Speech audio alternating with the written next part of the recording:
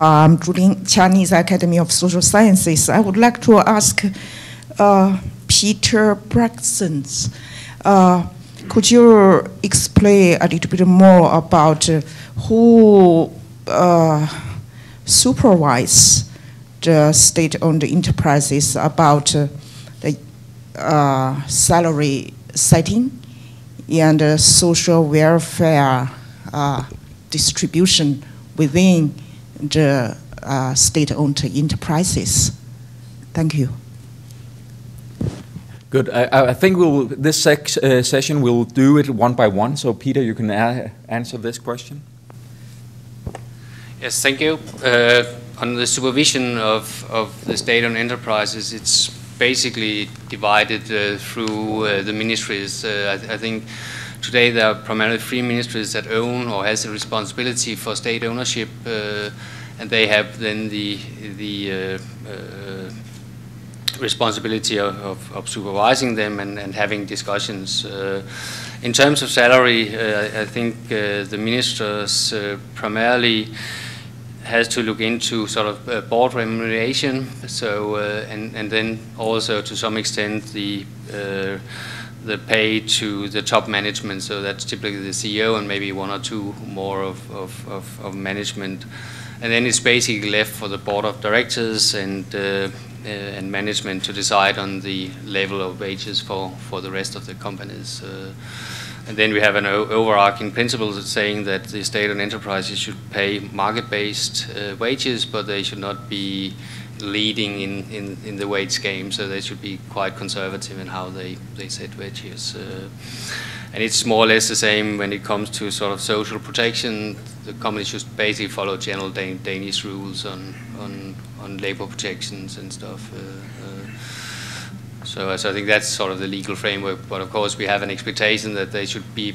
probably be best in class when it comes to uh, protecting workers' uh, social benefits and uh, behave uh, uh, sort of as as a better of the private companies. Okay. Yeah, in the back here. Yeah. Thank you. Uh, Donald Mmari from Repoa, Tanzania. My question is uh, not directed to any specific speakers, but more general in terms of, uh, it seems to me from the experience of uh, Vietnam and also from Nordic countries that uh, selective uh, state ownership, uh, which is more strategic, is good for the economy. Um, but there has been increasing concern and, of course, advice from the World Bank and the other, and the other organizations for blanket privatization. Um, just privatize everything, including uh, utilities, uh, uh, transportation, uh, on the on the ground that they, the the state ownership is inefficient. Um, my question is, uh, what is your take on that, and what should you, what would you have advised developing countries if you were the World Bank? Let's start with the John.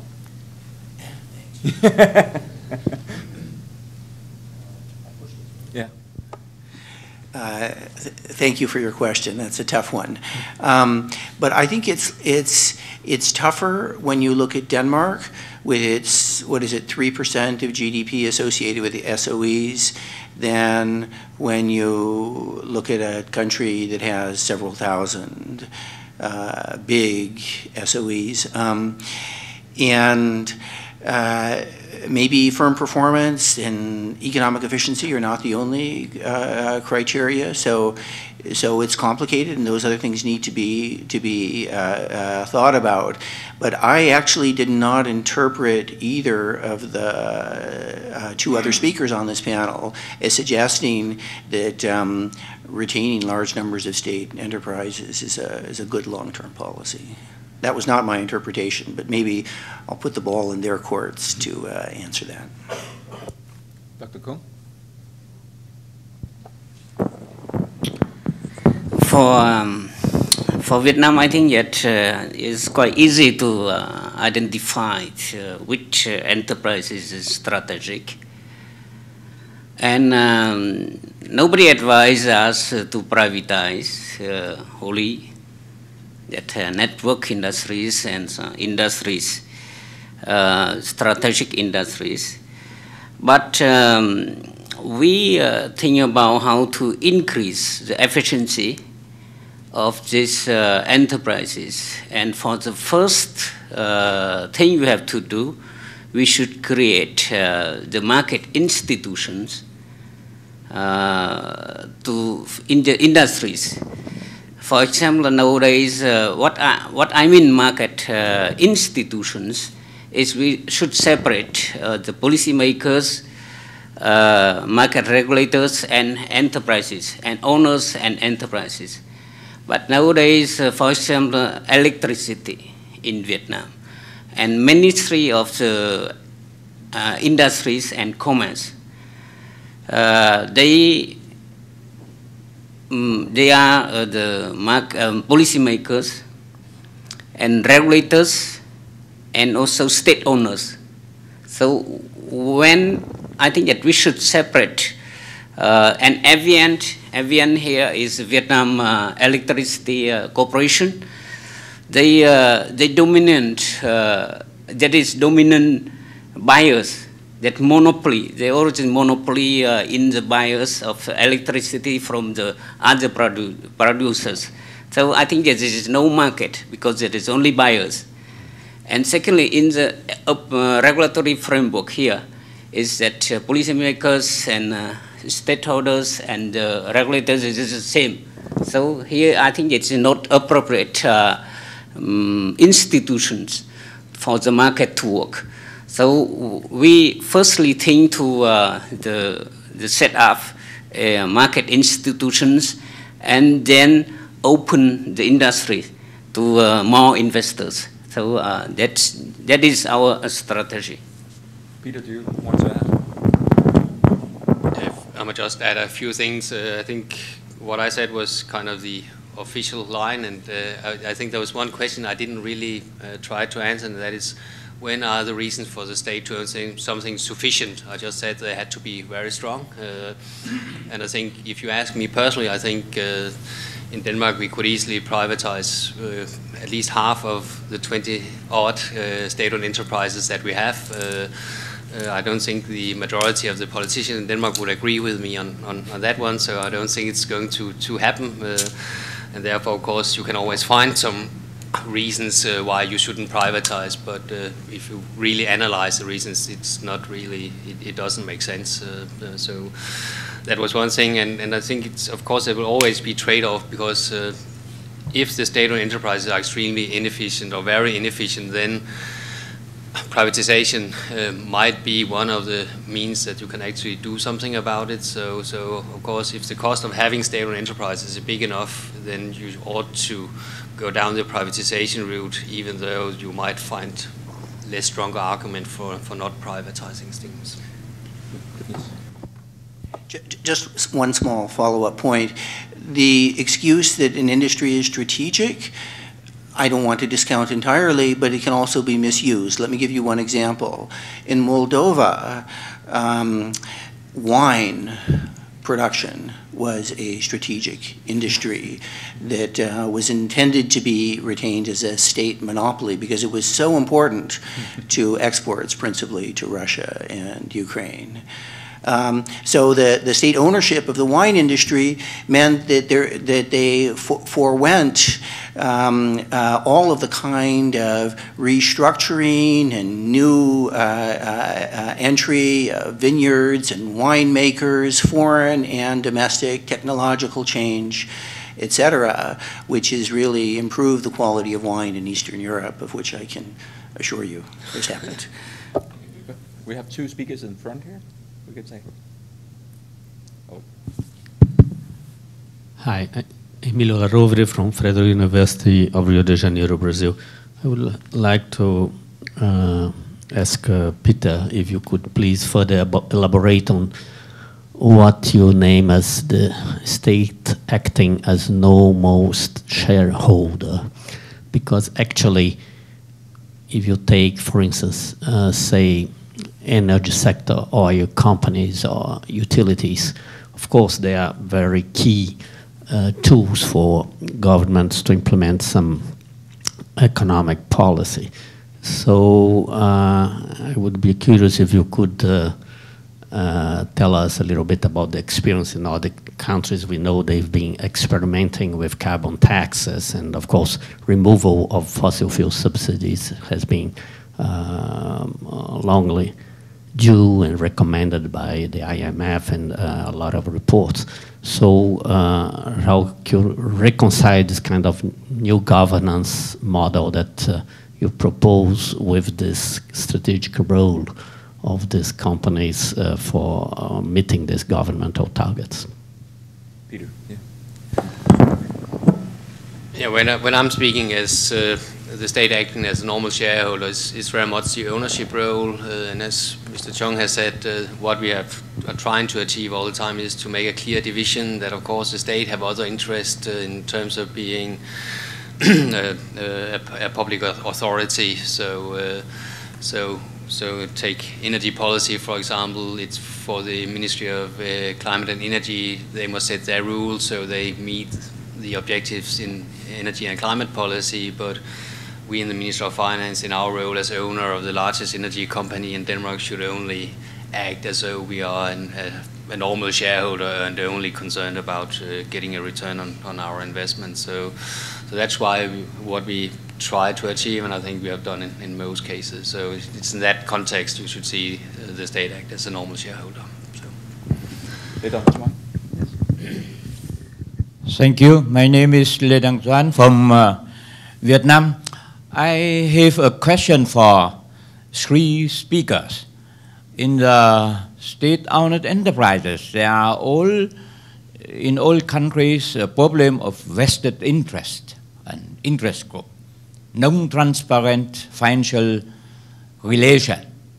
I wonder, how do you evaluate what for progress has been made by reforming the SOE and whether after the reforming, after privatization, the vested interest has been really eliminated and no more interest group, hidden interest group has been, uh, could exist and there are no more non-transparent financial relation between state officials and the uh, CEO of the equitized or privatize state-owned enterprises. Thank you. I think we will start with Dr. Kung this time because uh, I would like to hear that answer. I, my observation is that um, even after equitization or privatization, there's still vested interest because uh, even when we equitize uh, maybe my um, larger shares of state enterprises, there's the connection between government officials and uh, in the managers. They uh, previously uh, the uh, also they previously also the government officials they are friends. Therefore, and second observation is that uh, the, um, the, mother company and subsidiaries, when subsidiaries uh, privatize, even privatize 100% of state ownership, there's still very strong connection. And even some opportunities, uh, business opportunities, uh, the private um, mother company they do not share with the, their subsidiaries, but they share totally to the, the friends of uh, the companies. I think that uh, what is uh, what what is my observation, and therefore I don't think that only privatization will uh, abolish uh, the vested interest. It's also, can I just turn the word to you, John? Uh, because uh, in Russia, uh, we hear a lot of stories about this as well, with vested interests in uh, state-owned companies. So do you have? Um, i guess I'm next. Um, of, of, course, uh, uh, privatization is not a panacea. Um, so, to some extent, people's interests are going to remain the same, but it's also possible that their interests change somewhat. So uh, the managers of the company may take a greater interest in, in, uh, uh, in the firm's performance subsequently. And I think the, I don't want to say the fact, but the, but the very strong evidence that firm performance does tend to systematically improve following privatization suggests that behavior has also changed. So those, those vested interests may still be there. Of course, in every country around the world, uh, uh, uh, there, there are problems of, of special interests and um, Right. So so so and corruption. Um, so so so these are not going to go away because of privatization. But the fact that firm behavior is changing is some evidence that it's also having an effect on on those um, vested interests, which are otherwise very hard to observe. The nice thing about firm performance is we can estimate it, and measure it. Just a few additional comments. I think uh, looking at the state-owned enterprise that we have, I think the most important thing in, um, in dealing with uh, vested interests is actually dividing the roles of the states. So you have an ownership function and you have an authority function uh, because it, it, naturally gives a, a, competition between the different lines in, in the civil service that the I can see it clearly with one with our energy company in the old days, 15 years ago. They always came and saw all of us at the same time and said we have to solve their problems. Uh, but now they can't do that, and the Ministry of Climate and Energy is very firm that they wouldn't be seen as uh, granting favors to the Danish energy company, in, in, particular not because it's owned by the Ministry of Finance. So it actually creates a, a, a good uh, sort of uh, uh, structure for dealing with this. and I'm also sure the same goes if you take the step further and privatize the company, it would naturally, any vested interest would tend to go away gradually or at least be to a no, more normal level of what you will see from other private companies that always that that also pursues uh, vested interests uh, to some extent. So. The guy. Uh, thank you. Uh, my name is Witness Simbanegavi from uh, African Economic Research Consortium in Kenya. So I, I have, uh, I think, uh, two questions to the first presenter. Um, so, so the first, I think, is um, well, I, I, don't think you, I, I got the explanation of why uh, the effect of foreign ownership on productivity is, is, is so huge.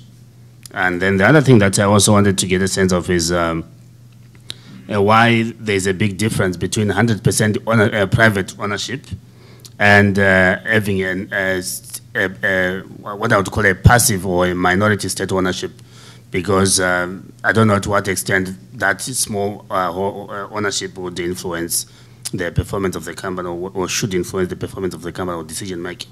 Then the last thing that I want to check with you is um, uh, whether you looked at sectoral differences in the in the productivity effects of privatization because it could be that uh, certain sectors, maybe there could be larger gains than in other sectors. And, and if you compare across the five countries, maybe the, the, the, sect the sectors are different. So, so, so it might actually sort of bias the, the, the outcomes. Thank you.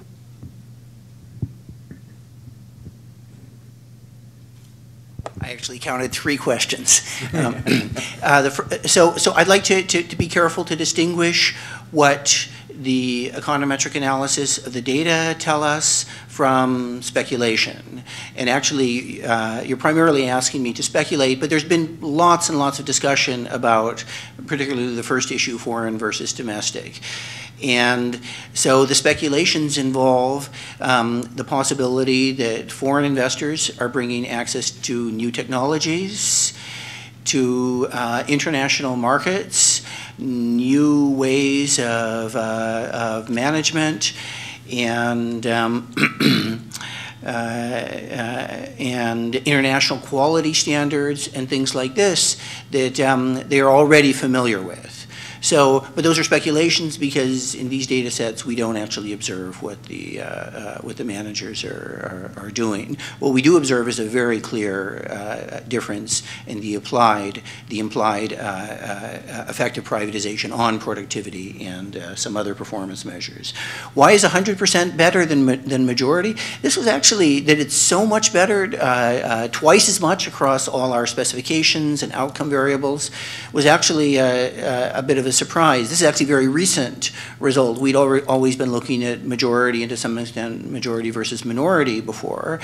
Um, and uh, uh, a speculation here would be that the, the private owners, even if in control, may worry that the 10% Danish owner that wants to limit them from moving their, uh, uh, so, so the Danish state owner wants to prevent them from, from moving their headquarters or doing something else. This is still some leverage over the uh, over the company, and uh, that it is so important is is uh, uh is surprising. But the data are speaking very clearly on that. Um, finally, on the sectoral difference, differences, there are sectoral differences. Um, maybe just a, a, big one that I would mention is that it turns out that we estimate uh, larger effects uh, on the manufacturing than in non-manufacturing.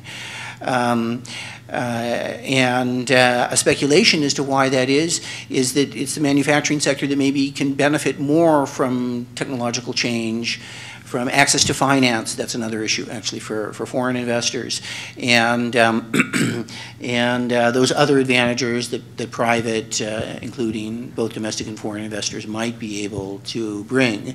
Um, and we, we, we have done a kind of a decomposition analysis looking at the, at the uh, um, different industrial uh, composition of these economies and uh, say, well, what if we applied the average industrial composition of all of them and re-estimate, so re-weighting our results, it doesn't affect the results materially. So they're essentially the same. But it's a, it's a really interesting question. What's the source of those cross-industry differences is a area of active research, may I say. Okay, uh, final, uh, Justin.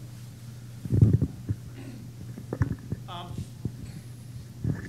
my question can be either to John or Dr. Kwong. We are talking about the ownership state-owned enterprises, but are we looking at the right questions? Because we know a lot of the state-owned enterprises now exist in Russia or in Vietnam. In general, are too capital intensive compared to their stage of development. And under the kind of situation, they are not viable and they need to receive subsidies from the government in order to survive. And under this kind of situation, even you privatize them 100%, they are still receiving government subsidies, protection in order to survive. And uh, if we compare the incentive structure of rent seeking, whether it's have a high incentive to rent seeking in the form of a state ownership over the private ownership. I think that might be a more relevant question just to talk about the uh, uh, uh, uh you know, ownership reform and so on, or property, re, uh, property right reform. So that's my comments, and I'd like to have your reaction to that comments. Dr. Kuhn?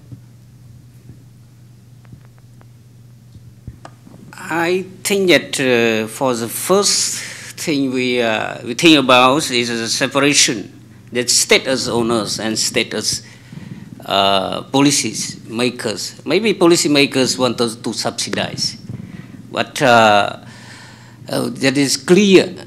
If there is subsidies uh, for the, the, the social the benefit or the country benefit, it is clear what is price we have to pay and where the society accepts that price. I think that uh, it is the ownership I, I, what I, I talk about is that it's clear, objective, and the, um, transparent, especially uh, financial aspect between the uh, state budget and state uh, uh shareholders. So whether we should pay uh, uh, the price to, to give some subsidies and many other objective. That is what I concerned. So if I understand your question, Justin, um, it's, isn't the soft budget constraint the bigger problem? And possibly, but one of the uh, possible advantages of privatization is, in fact, that it may reduce that, uh, uh, uh that softness. Um, certainly, certainly, the continued role of the state is a is a is a very important issue in these countries, and uh, in some more than others. Um, transparency is always going to be hard to achieve, whether the state is a shareholder or not, because there's so many different ways that uh, support and subsidies can be. Uh, um, uh, can be provided.